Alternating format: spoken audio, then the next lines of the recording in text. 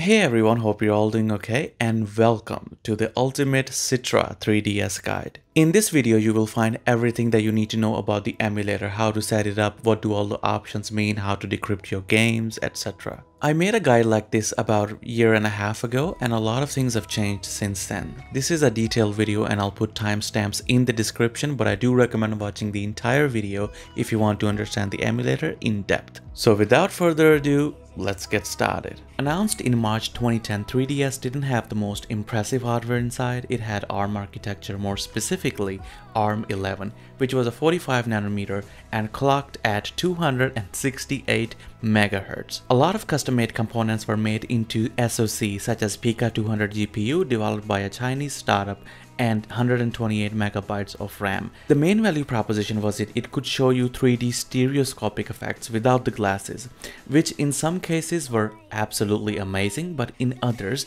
they were lackluster to say the least. Citra was developed three years after 3DS came out. The emulator has been steadily improving ever since.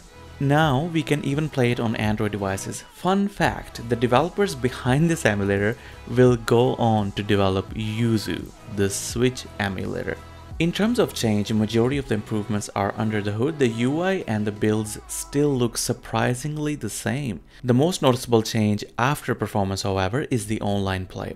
So many things have implemented regarding this and it is truly amazing.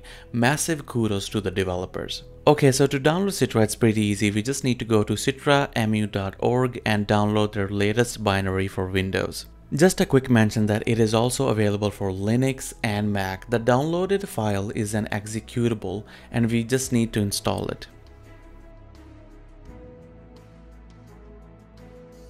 After the installation visit, it's going to download the required repositories. Now, there are two versions of this emulator, Canary and Nightly build. In theory, Canary version can be a little faster and more optimized given it's the experimental release, but the emulator has gone through about 8 years of improvements, so we're not gonna worry about that release, but it's there if you want to tinker with it. After it is installed, make sure to have all these things checked. It should then launch without any problem.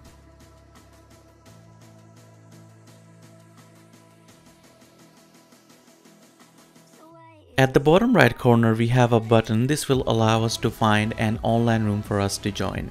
It's also available from the drop down menu in the UI. First up we have load file which can be a 3ds file, it's also called a decrypted file because the game contents are unlocked and are encapsulated within a file. In contrast we can install a CIA file, kind of like an executable on PC or PKG file on PlayStation 3. It all depends on how do you dump your ROM from your 3DS. Recent is pretty self-explanatory, Amiibo is the agent that can be used to create avatars in some games. In emulation, except for configuration and cheats, they're all pretty simple. We'll go to configure and cheats in just a little bit. Again, view is pretty straightforward except for debugging, but you're not going to be using debugging options. In multiplayer, we have different options to browse a public lobby, create a room, or join an existing room. In tools, we have a couple of options starting with movie. You can record the gameplay footage and then choose what to do with it. Frame Advance is a very niche option. It's specifically for people looking to create tool assisted gameplays.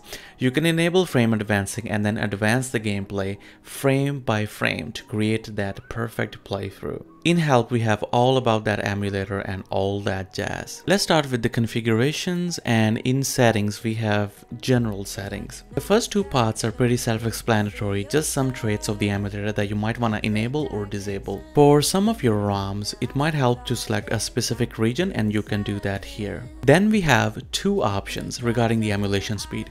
At first glance, it can look pretty confusing why do we have two emulation speed sliders? But it's actually very basic. The first slide is the speed of the emulation, that means how fast do we want to emulate a specific ROM. The second one is the speed of the ROM itself. If we choose alternate speed, it will enable the slider speed. Tywald from Citra explains it pretty well. It's the same as when you have a master volume slider in Windows and a secondary volume slider in YouTube. In about 95% of the cases, you will leave them at 100%.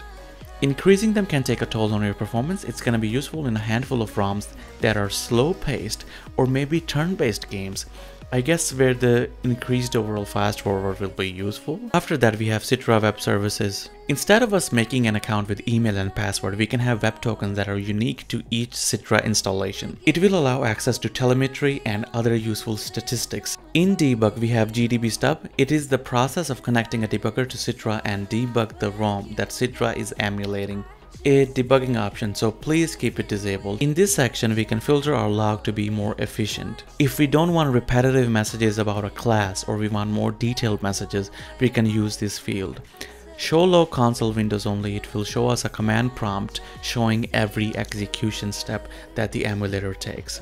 Enable CPU JIT which is just-in-time compilation, please leave it as it is. I'm pretty confident that they can move this setting to the general section because of how optimized the emulator is, but I appreciate the devs putting it here. UI section is pretty straightforward. Let's move on to the system settings and in October 2014, Nintendo released a new iteration of 3DS calling it New Nintendo 3DS. So yeah, anytime you feel useless, remember the effort that the biggest gaming company put into their new iteration of console. Oh, what do we call this new Nintendo 3DS? Yes. Jokes aside, enabling this will make the new 3DS games work. This is pretty self-explanatory. Playcoins are an in-game currency for Nintendo 3DS, which one can use to buy items, game, mods, or characters in certain games. Console ID is the unique identifier for our machine. Next up we have CPU clock speed. There are a handful of games that suffer from CPU starvation problems, so underclocking or overclocking them can help. So this is a totally experimental option and it will only be useful in a very handful of cases because most of the games are pretty playable. We can underclock the emulated 3DS CPU by sliding the slider to the left and overclock it by sliding it to the right. Moving on to camera, we have different camera options here. Again, we're not gonna bother with that, but you can if you have specific hardware. And in storage, we have different paths to our repositories and it says use virtual SD. That's exactly what we're gonna use.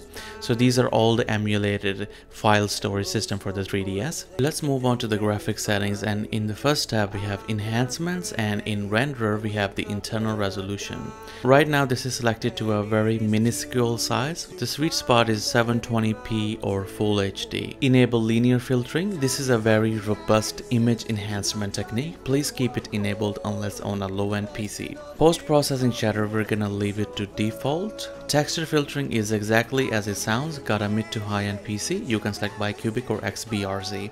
Both very promising options with a lot of iterations to get better textures. Stereoscopic 3D mode, if you've got a stereoscopic display, meaning a 3D TV, you can enable it here. Layout is pretty self-explanatory and then we have the utility options. In utility we have some texture options. For some games modders have made custom textures which you can download and place it in your custom texture folder. Some of these textures are upscale version of the original or completely different in other cases. Dump textures will copy your textures in your directory.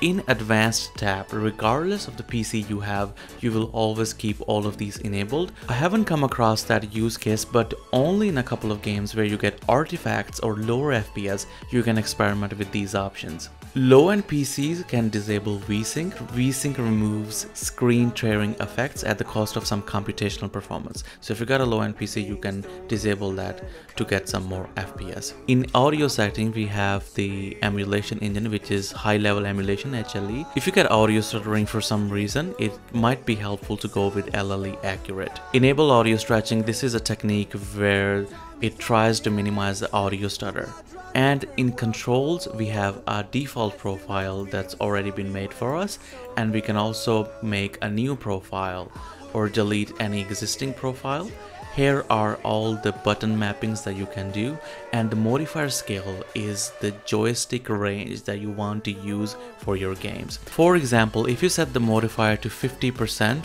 the joystick will be at max 50% of this range so you'll walk instead of running in many games. And then we have shoulder button and miscellaneous button so that covers all the settings. Now let's add some games. Alright, now that we have added our games, two of them are decrypted, but one of them is encrypted actually. So let's see what happens when we try to run it. It says your ROM is encrypted. Please follow the guides to redump your game cartridges or install titles. There are two possible reasons as to why your game is encrypted. First up, if you've dumped it from your 3DS, your dumping method may be incorrect or maybe the file got corrupted while you're dumping it. The second and the most obvious and the most common one, if you download it online, then it's gonna be encrypted. As Citra doesn't allow piracy, that's why it refuses to run encrypted ROMs, even though it's gonna be way easier for them to implement it. Luckily, the community members have already implemented a tool where you can decrypt the 3ds file and we're just gonna download it from here. After downloading the tool, we're gonna separate our encrypted file. So I'm gonna move it into a new folder. Extract the batch CIA 3ds decryptor into your encrypted games folder. And then all we have to do is just launch this batch file. So we're just gonna wait till it's all decrypted and we should be ready to go. Wow, look at that. It says it's already finished. That was quick. Now let's try to run it. And voila.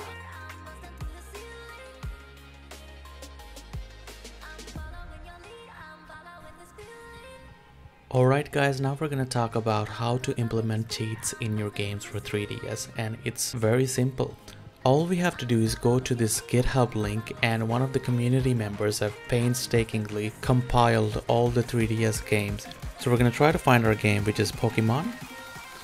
Let's go in here and this is the text file that contains all the cheats. So this is the cheat that's called max money and we're gonna copy the hex code here and we're gonna go into emulation, cheats, and then add cheat. So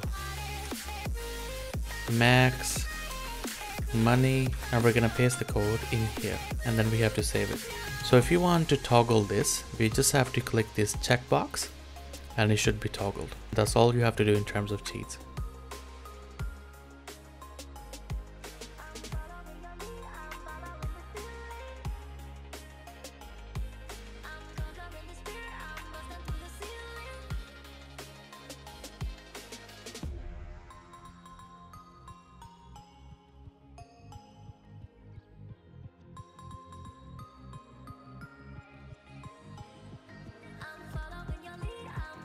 Even with this guide, you might run into problems, just drop down a comment below and I will try my best to help out.